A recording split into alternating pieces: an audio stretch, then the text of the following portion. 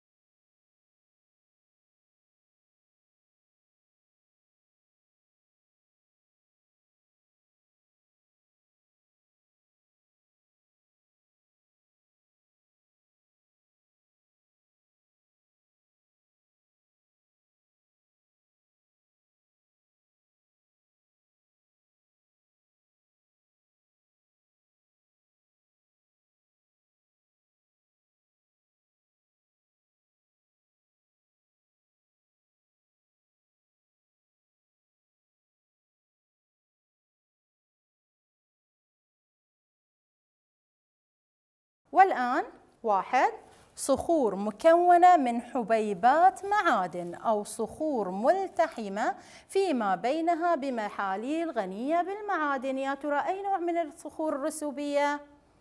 رائع. الصخور الرسوبية الفتاتية. نأتي إلى العبارة الثانية. صخور متكونة من بقايا نباتات متراكمة فيها نباتات ميتة بعضها فوق البعض.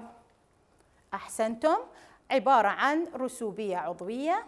أما الثالث فهي عبارة عن صخور متكونة من تبخر مياه مشبعة بالمعادن من الينابيع الحارة والبحيرات المالحة. من هذه العبارة عرفنا أنها صخور رسوبية كيميائية. لدينا هنا الكونجلوميرات مثالا على هذا النوع من الصخور. أي نوع؟ ممتاز الصخور الفتاتية خامسا الحجر الجيري مثالا على الصخور الرسوبية العضوية التفكير الناقد كيف يمكن لمعدن الكوارتز أن يوجد في صخر رسوبي وصخر ناري؟ كيف يا ترى؟ رائع يتكون الكوارتز في الصخر الناري عندما تبرد الماجمة أما إذا تعرض هذا الصخر إلى التجوية والنقل والترسيب يتم التراص في هذا المعدن وهو معدن الكوارتز وتلاحمه في صخر رسوبي. نأتي الآن إلى النوع الأخير من الصخور وهي الصخور المتحولة. الصخور المتحولة هي عبارة في الأصل عن صخور قديمة نارية أو رسوبية وتوجد في أعماق القشرة الأرضية. ولكن هذه الصخور تعرضت إلى حرارة وضغط شديدين والسوائل الساخنة ولذلك تنشأ عن صخور متحولة. حيث يتغير شكل الصخر ويتبلور من جديد ويتغير تركيبه الكيميائي. نرى هنا حجر الجرانيت. يا ترى من أي نوع من من الصخور حجر الجرانيت؟ نعم حجر ناري. ولكن هذا الحجر إذا تعرض إلى الحرارة والضغط وإلى السوائل الساخنة ستكون هذه عبارة عن أسباب تحول حجر الجرانيت إلى حجر النيس. إذا الجرانيت حجر ناري تحول إلى آه، حجر النيس وهو عبارة عن حجر متحول. تشكل الصخور المتحولة لدينا مثال ذكرنا حجر الجرانيت. هو عبارة عن صخر ناري عن طريق الضغط الشديد والحرارة تحول إلى صخر النيس المتحول. لدينا أمثلة أخرى على صخور آه، مثل الصخر الرملي وهو عبارة عن صخر رسوبي يتحول إلى الكوارتزيت أما الحجر الجيري فيتحول إلى رخام. بعد أن تعرفنا على أنواع الصخور الثلاثة وهي الصخور النارية الصخور الرسوبية والصخور المتحولة هيا نتعلم دورة الصخر في الطبيعة عندما قلنا دورة الصخر هو عبارة عن ماذا؟ عبارة عن نموذج لوصف آليات تحول الصخور من نوع إلى آخر وعلاقة بعضها ببعض هناك عدة عمليات من خلال هذه العمليات تتحول الصخور من شكل إلى شكل آخر. العملية الأولى هي عملية التبريد والتبريد يحدث إلى الصخر الناري. أما العملية الثانية فهي التجوية والتعرية والتي تكون لنا الرسوبيات. العملية الثالثة هي الرص والتلاحم الذي يحدث إلى الرسوبيات ليتكون لدينا صخر رسوبي. أما العملية الرابعة فهي الحرارة والضغط والتي ينتج عنها الصخر المتحول. ولدينا العملية الخامسة هي الانصهار اللي آه، راح تكون إلينا الصهارة أو اللابة فترجع مرة أخرى تبرد لتكون الصخر الناري. نشاهد هنا لدينا صهارة أو لابة عن طريق التبريد راح آه، تعطينا صخر ناري. هذا الصخر الناري لو تعرض لعوامل تجوية وتعرية راح نحصل على رسوبيات.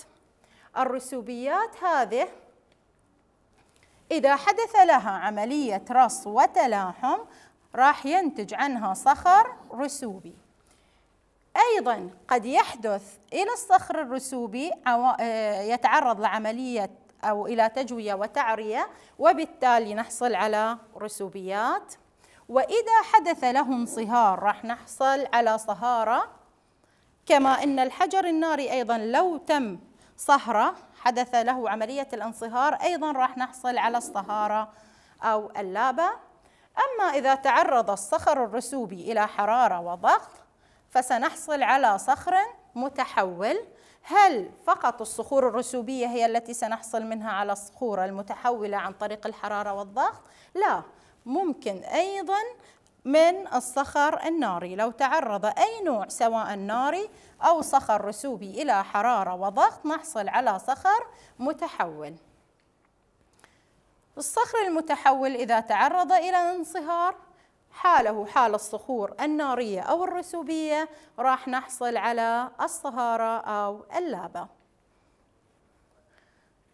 والآن وصلنا إلى النشاط التقييمي.